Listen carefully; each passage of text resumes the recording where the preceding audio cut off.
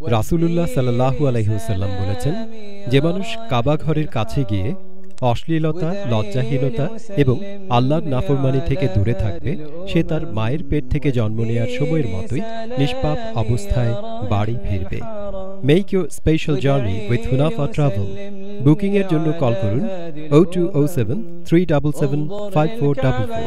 অথবা ভিজিট করুন Hunafa travel dot com রামাদানের আগে বুকিং দিলে একশো পাউন্ড ছাড়।